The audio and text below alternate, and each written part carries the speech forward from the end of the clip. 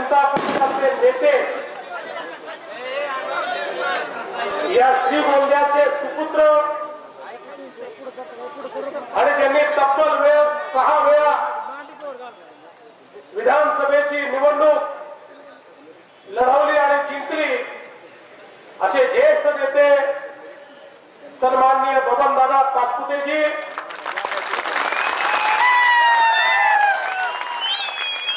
महायुतीचे आमचे घटक असलेले छत्रपती शिवाजी महाराजांची तळपती तलवार घेऊन महाराष्ट्राच्या मैदानात निघालेले शिवसंग्रामचे अध्यक्ष माननीय विनायकरावजी मेटे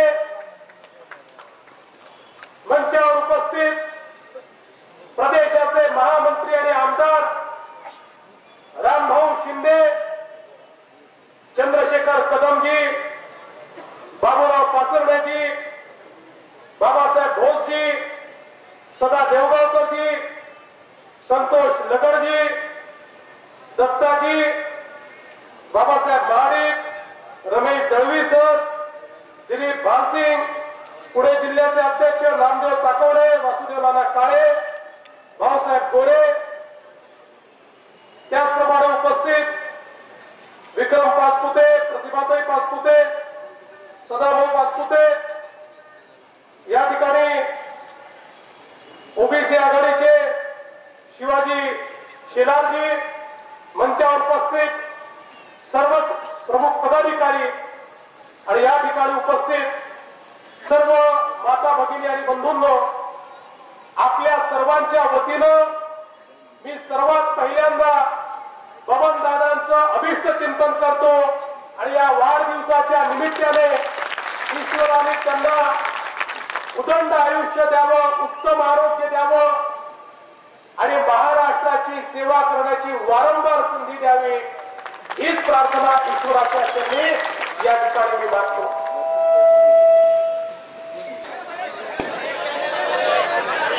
भारतीय जनता पक्षाचे नेते या श्रीगोंद्याचे सुपुत्र आणि ज्यांनी तब्बल वेळ सहा वेळा विधानसभेची निवडणूक लढवली आणि जिंकली. असे ज्येष्ठ नेते सन्माननीय बबनदादा तात्पुतेजी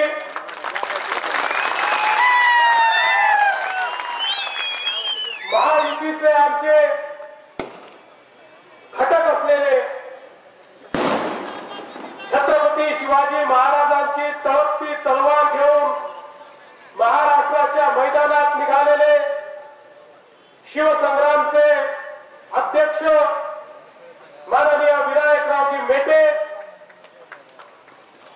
मंचावर उपस्थित प्रदेशाचे महामंत्री आणि आमदार रामभाऊ शिंदे चंद्रशेखर कदमजी बाबूराव पाचरण्याजी बाबासाहेब भोसजी सदा देवगावकरजी संतोष लगडजी दत्ताजी बाबासाहेब महाडिक रमेश दळवी सर दिलीप भानसिंग पुणे जिल्ह्याचे अध्यक्ष नामदेव ताकवडे वासुदेव नाना काळे भाऊसाहेब गोरे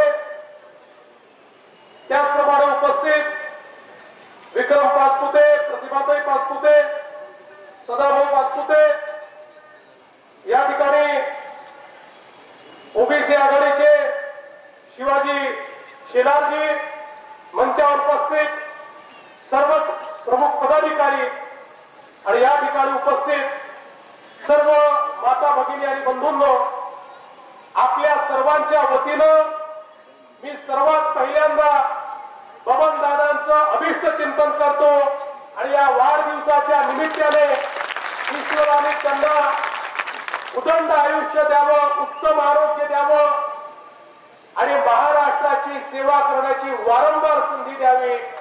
हीच प्रार्थना ईश्वराच्या चरणी या ठिकाणी मी मागतो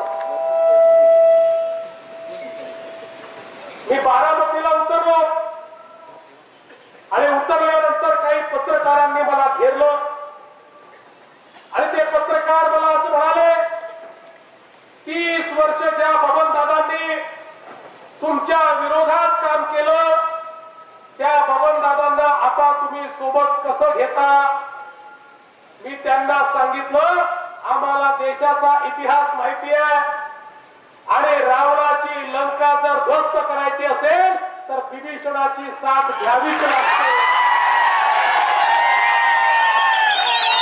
त्याशिवाय लंका ध्वस्त होत नाही आणि म्हणून या ठिकाणी बबन दादा आज सोबत आलेले आहेत आणि मी आपल्याला निश्चितपणे सांगतो रावणाचं राज्य फार काळ टिकणार नाही हे अनाचारी अत्याचारी दुराचारी व्याभिचारी आणि भ्रष्टाचारी असलेलं काँग्रेस आणि राष्ट्रवादी काँग्रेस राज्य आता उलथून टाकू आणि तुमचं माझं आपलं सगळ्यांचं महायुतीचं राज्य या महाराष्ट्रामध्ये आम्ही आणणार आहोत. खरं म्हणजे दादा तुमचा प्रवास तर आमच्या सोबतच सुरू झाला. तुम्ही जनता पार्टीमध्ये सुरुवात केली जनता पार्टीचे आमदार झालात. आणि आम्ही देखील त्या जनता पार्टीमध्ये होतो. ही जनता पार्टी जुलमी सरकारच्या विरुद्ध सगळ्या राष्ट्रभक्तांनी एकत्रित येऊन त्या काळामध्ये तयार केलेली पार्टी होती. पण जनता पार्टीचं विलिनीकरण झाल्यानंतर ती दुभंगल्यानंतर दादा तुम्ही वेगळ्या मार्गाने गेला आणि आम्ही वेगळ्या मार्गाने गेलो पण शेवटी आपला मार्ग एकच होता आणि त्यामुळे तीस वर्षानंतर का होईना पुन्हा एकदा एकाच टप्प्यावर आपण येऊन भेटलो. आणि म्हणून जनता पार्टीचा भारतीय जनता पार्टीचा हा जो तुमचा प्रवास आहे एक प्रकारे तुम्ही स्वगृहीच परत आलेला आहात. कारण हा सगळा विचार जनता पार्टीचा आणि भारतीय जनता पार्टीचा हा काही फार वेगळा नाही. आणि म्हणून मला काही तुम्ही नौखे आहात असं बिलकुल वाटत नाही. आज खरं म्हणजे या महाराष्ट्रातली अवस्था काय आहे? आज महाराष्ट्रातली अवस्था अशी आहे की हा महाराष्ट्र गेल्या पंधरा वर्षामध्ये खऱ्या अर्थानं प्रचंड पाठीमागे गेला. ज्या महाराष्ट्राकडे लोक पाहायचे त्या महाराष्ट्राकडे संपूर्ण देश पाहायचा की राज्य कसं असलं पाहिजे महाराष्ट्रासारखं असलं पाहिजे. पंधरा वर्षात महाराष्ट्राची अवस्था अशी झाली की छोटी छोटी राज्य देखील महाराष्ट्राच्या पलीकडे चालली गेली. महाराष्ट्रामध्ये पंधरा वर्षाचं राज्य केल्यानंतर इकडे पवार साहेब तिकडे पृथ्वीराज चव्हाण साहेब या ठिकाणी सांगतात आम्ही खूप विकास केला आणि त्यामुळे महाराष्ट्र आमच्यासोबत येईल. मी त्यांना एवढंच सांगून देऊ इच्छितो लोकसभेमध्ये तुमची अवस्था काय झाली ती तुम्ही बघितली. लोकसभेच्या निवडणुकीपूर्वी मी सांगितलं होतं की या महाराष्ट्रामध्ये राष्ट्रवादी काँग्रेस नावाचा जो पक्ष हा राष्ट्रवादी काँग्रेस पक्ष दोन हजार नऊच्या निवडणुकीमध्ये याचे आठ खासदार निवडून आले. हा राष्ट्रीय पक्ष आठ खासदारांचा राष्ट्रीय पक्ष म्हटला इनोव्हा पक्ष आहे. आठ खासदार इनोवात बसवले की चालला पक्ष दिल्लीला. आणि मी सांगितलं होतं लोकसभेच्या निवडणुकीनंतर पवार साहेब तुमच्या पक्षाला आम्ही इनोवा पक्ष देखील राहू देणार नाही. तुमच्या पक्षाला आम्ही नॅनो पक्ष बनवू तुमचे चार देखील आणि तुम्ही ही करामत करून दाखवली. चार केवळ त्या ठिकाणी पवार साहेबांचे खासदार निवडून आले. एका नॅनो मध्ये बसवलं की चाललंय राष्ट्रीय पार्टी दिल्लीला. पण काँग्रेसची अवस्था तर तुम्ही त्याही पेक्षा वाईट केली. त्या महाराष्ट्रात काँग्रेसला तुम्ही वेस्पा पार्टी बनवलं त्यांचे दोनच निवडून आले. दोन खासदार बसवले की चालली वेस्पा दिल्लीला. ही अवस्था त्यांची केली. पंधरा वर्षातल्या या सगळ्या कामाचा हिशोब जनता विचारणारच आहे. आणि मी तुम्हाला दाव्यानं सांगतो यांची जी अवस्था लोकसभेत झाली त्याही पेक्षा वाईट अवस्था आता विधानसभेच्या निवडणुकीमध्ये होणार विधानसभेमध्ये बहुमता करता यांना भांडायची वेळ येणार नाही. यांना विधानसभेमध्ये विरोधी पक्ष नेते करता भांडण्याची व्यवस्था अवस्था येणार आहे. ही आज याची अवस्था. आहे काल परवा आमच्या काँग्रेसच्या नेत्यांनी पुस्तकं प्रकाशित केलं. मला वाटलं काहीतरी जोरदार हे आता सांगणार कसा महाराष्ट्राचा विकास केला. एक पुस्तक प्रकाशित केलं. काय म्हणतात? जिंकणारच. काय? बघा सोनियाजी म्हणतात एक तरी जिंकणारच. राहुलजी म्हणतात एक नाही पाच तरी जिंकणारच. ही अवस्था. बरं एवढं मोठं पुस्तक छापलं. मला वाटलं विकासाची काहीतरी गाथा यांनी मांडली असेल. खरं म्हणजे यांची अवस्था अशी आहे काँग्रेस आणि राष्ट्रवादी काँग्रेसच्या नेत्यांची. हे रात्री बारा वाजता अचानक झोपेत न उठतात. आणि मोदी मोदी ओरडायला लागतात मोदी शिवाय दिसतच नाही. जरी तरी कार्तिक आषाढी मोदी मोदी मोदी. जेवढं मोदीजींचं नाव आम्ही घेत नाही तेवढं मोदीजींचं नाव आज काँग्रेस आणि राष्ट्रवादी काँग्रेस घेत. अरे मोदीजींकडे किती बोट दाखवली? जनता मोदीजींच्या पाठीशी आहे. तर मोदीजी परिवर्तनाची आग आहे. तुमच्यासारखं होणार नाही की त्यांनी महाराष्ट्राची अवस्था करून टाकली. एकोणीस पानं याचे या तेरा मोदीच सांगितलेला आहे. यांना मोदीच दिसतो. बरं यांची अवस्था कशी आहे? की यांना सांगण्यासारखं काहीच उरलं नाही. आता बघ काय लिहिलं. आम्ही महाराष्ट्रात काय केलं? तुम्हाला गेल्या सात वर्षात काँग्रेसने देशातून महाराष्ट्रात विकास कामाची प्रचंड घेत घेतली आहे. त्याला तोड नाही. मग मला वाटलं महाराष्ट्रात काय प्रचंड विकास केला तो लिहिला असेल. त्यांनी लिहिलं मी महाराष्ट्रात विकास कामाची जी प्रचंड झेप घेतली त्याला तोड नाही. भाकरा नांगल धरण आणि जमशेदपूरच्या पोलाद कारखान्यापासून ही विकासाची सुरुवात आम्ही केली आहे. आता या वेळांना हे माहीत नाही का भाकरा नांगल कुठे आहे आणि जमशेदपूर कुठे आहे? महाराष्ट्राचा काय संबंध? अरे महाराष्ट्राचा विकास केला सांगता. भाकरा नांगल भवन साठ वर्षापूर्वी बांधलेलं. ते दाखवता. पण यांचा दोष नाही. हा काँग्रेसचा दोष नाही असा साहेब. दाखवतील काय या महाराष्ट्रामध्ये धरणाकरता सत्तर हजार कोटी रुपये आमच्या अजित पवारांनी खर्च केले. पण एकही धरण तयार होऊ शकलं नाही पैसा अजित दादांच्या तिजोरीमध्ये गेला आणि त्यामुळे दाखवण्याकरता फोटो देखील छापण्याला एक धरण यांच्याजवळ राहिलं नाही. भाकरा नांगलचा फोटो दाखवावा लागतो. आणि एकीकडे धरणामध्ये पाणी नाही. तर मी काय? हे सांगणारे अजित दादा. हे सांगणारे अजित दादा ज्या पक्षाचे प्रमुख असतील ज्या आघाडीचे प्रमुख असतील ती आघाडी या ठिकाणी काय दाखवणार आहे? आणि म्हणून मी म्हणत नाही माझं तर सोडून द्या. मी तर रोज तेच सांगतो. पण काल पतंगराव कदम यांनी सुद्धा सत्य सांगून दिलं. काय म्हणाले पतंगराव कदम? पतंगराव कदम म्हणाले राष्ट्रवादीला आमच्या आघाडीत यावंच लागेल. ते इकडे आत येणार नाही तर युतीचं शासन आलं की तिकडे आत जातील. मला एवढं केलं अजितदादांनी की अजितदादा जर आता आमच्यासोबत युतीत आले नाही तर महायुतीची सत्ता आल्याबरोबर अजित दादांना आमच्या नाथाभाऊंच्या भाषेत सांगायचं झालं तर काय अवस्था होईल? अजित दादा चक्की पिसिंग पिसिंग पिसिंग पिसिंग ही अवस्था अजित दादांची होईल. आणि मग आज या ठिकाणी खऱ्या अर्थानं परिवर्तनाची आवश्यकता आहे. अरे सुकडी आम्ही केली. त्यानंतर साकाळी तुम्ही काही करू शकला नाही. तुमच्या ताकद नव्हती. आमच्या नाथाभाऊनी चुकडी केली. आमचे नाथाभाऊ या ठिकाणी कुकडी कुकडी. आमचे नाथाभाऊ या ठिकाणी साकाळी करून दाखवतील. बंधू भगिनींना साकाळीचं काम देखील आजच ज्यावेळी मी निघालो नाथाभाऊंनी मला सांगितलं माझी तब्येत ठीक नाहीये पण माझ्या वतीनं त्या ठिकाणी तू सांग की या ठिकाणी कुकडीचं काम हे मी केलं.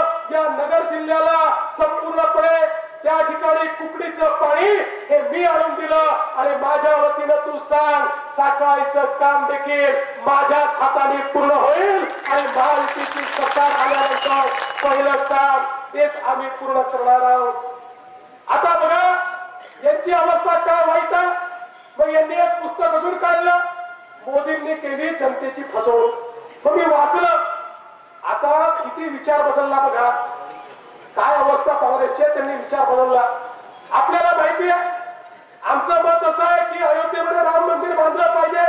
पण आम्ही वारंवार सांगत होतो की अयोध्येत आता राम मंदिर आहे ते भव्य राम मंदिर जर बांधायचं असेल तर त्या ठिकाणी सहमतीने आपल्याला बांधावं लागेल किंवा कोर्टाच्या निर्णयाने बांधावं लागेल.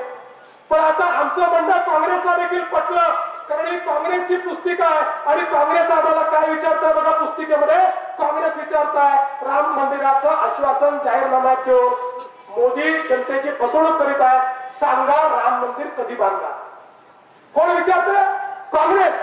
म्हणजे आता याचा अर्थ असा आहे की काँग्रेसने राम मंदिरच्या बांधकामाला समर्थन या ठिकाणी दिलेलं आहे. आणि म्हणून काँग्रेसने ऑफिशियल पत्रिका जी या ठिकाणी तयार केली त्यात काँग्रेसच आम्हाला विचारते आहे की सांगा तुम्ही राम मंदिर कधी बांधणार? तुम्ही ज्याही बांधणार असाल?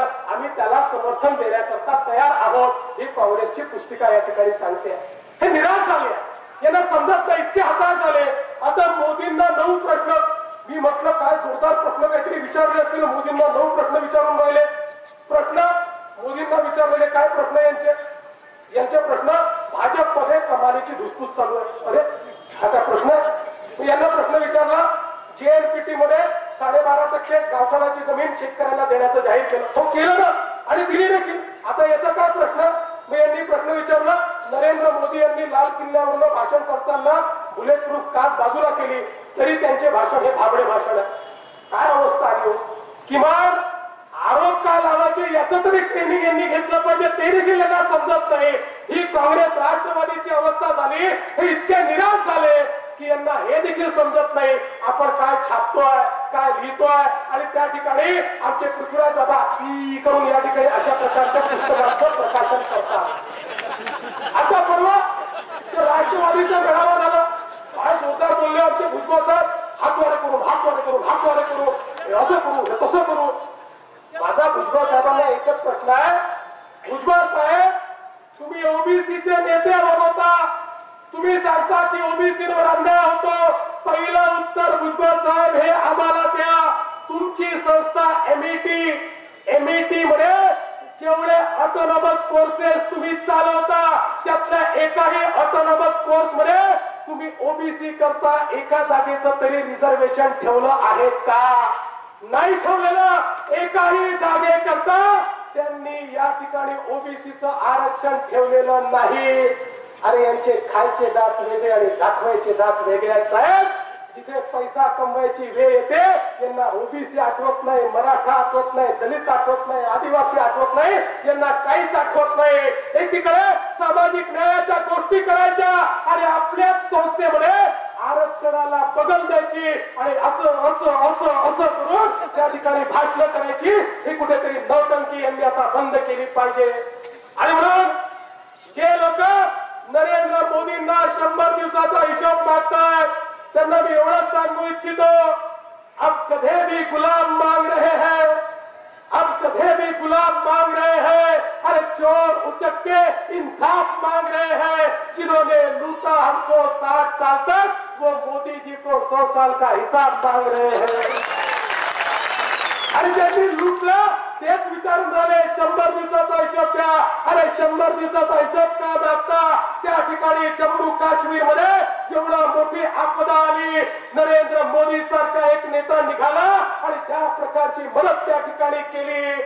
काँग्रेसचे मुख्यमंत्री गुलाम नबी आझाद यांना देखील माजी मुख्यमंत्री यांना देखील या ठिकाणी सांगावं लागलं. की नरेंद्र मोदींचे मी धन्यवाद देतो. नरेंद्र मोदींनी चांगल्या प्रकारची मदत केली. दिग्विजय सिंग जे कधीच चांगला बोलत नाही जे कधीच चांगलं बोलत नाही त्या दिग्विजय सिंगांना देखील हे म्हणावं लागलं की नरेंद्र मोदींचं मी अभिनंदन करतो. ज्या प्रकारे त्यांनी काश्मीरचा प्रश्न या ठिकाणी हाताळला आम्ही त्यांचं अभिनंदन करतो. मी काँग्रेस राष्ट्रवादीच्या नेत्यांना सांगतो अरे आता तर हा ट्रेलर आहे. एकदा पिक्चर सुरू होऊन जाऊ द्या. नरेंद्र मोदी हा व्यक्ती असा आहे या देशामध्ये अशा प्रकारचं परिवर्तन तो करेल. पंधरा वीस वर्ष तुम्हाला त्यांचा सत्कार आणि त्यांचं अभिनंदन केल्याशिवाय दुसरा उद्योगच मिळणार नाही. तर आता तुम्हाला पंधरा वीस वर्ष सत्ता या ठिकाणी मिळणार नाही. आज आपण शेतकरी मेळावा घेतलाय. नरेंद्र मोदींनी पहिला अर्थसंकल्प मांडला. आणि या पहिल्या अर्थसंकल्पामध्ये नरेंद्र मोदींनी जर करतो तरी देखील शेतमजुरांची आवश्यकता पडते. आणि दुसरीकडे जे शेतमजूर आहेत त्यांची अवस्था अशी आहे की त्यांना दोन वेळच खायला मिळत नाही. आणि म्हणून यातला महत्त्वाचा दुवा मोदीजींच्या सरकारनं गाठला आणि या अर्थसंकल्पात त्यांनी सांगितलं यापुढे शेतीमध्ये काम करणारा जो शेतमजूर असेल त्याला रोजगार हमी योजनेच्या माध्यमातून आम्ही त्या ठिकाणी त्याला पगार देऊ त्याला त्या ठिकाणी रोजगाराचं जे काही त्याचं कॉम्पेन्सेशन आहे त्याचा पगार आहे आम्ही रोजगार हमी योजनेच्या माध्यमातून देऊ. म्हणजे एकीकडे शेतकऱ्याचं लागत मूल्य कमी होईल आणि दुसरीकडे शेतमजुराला मोठ्या प्रमाणात त्या ठिकाणी पैसा मिळेल त्याच्या जीवनामध्ये देखील परिवर्तन होईल. एवढंच नाही तर शेतीच्या आणि सिंचनाच्या संदर्भातल्या अनेक योजना त्या ठिकाणी मांडल्या आणि पन्नास हजार कोटी रुपये या शेतीच्या आधुनिकीकरणाकरता त्या ठिकाणी आधुनिक इन्फ्रास्ट्रक्चर तयार करण्याकरता मोदीजींच्या सरकारनं दिलं आणि एवढंच करून ते थांबले नाहीत. तर आज देशामधली सिंचनाची जी अवस्था आहे ती अवस्था आपल्या महाराष्ट्रात तर फार वाईट आहे. पण महाराष्ट्रामध्ये काही भागात भरपूर सिंचन आहे आणि काही भागात पाणी नाही आहे. या सगळ्या भागामध्ये सिंचनाची सोय झाली पाहिजे. म्हणून मोदीजींच्या सरकारने राज्यांना सिंचनाच्या व्यवस्थेकरता मदत करण्याकरता खूप मोठा निधी उभारला की ज्या माध्यमातून राज्यामध्ये मोठी सिंचनाची व्यवस्था उभी राहिली पाहिजे. आणि यासोबत एक महत्वाची गोष्ट त्यांनी सांगितली. त्यांनी सांगितलं की जो शेतमालाला भाव द्यायचा आहे तो शेतमालाला भाव हा उत्पादन खर्चावर आधारित त्याच्यावर पन्नास टक्के अधिकचा नफा घेऊन जो स्वामीनाथन आयोगाने या ठिकाणी सुचवलेला आहे तोच फॉर्म्युला आम्ही स्वीकारू. आता काँग्रेसचे लोक म्हणायला लागले की तुम्ही पहिल्यांदा जे काही हमी भाव घोषित केले ते हमी भाव कमी आहेत. किती लबाडात बघा.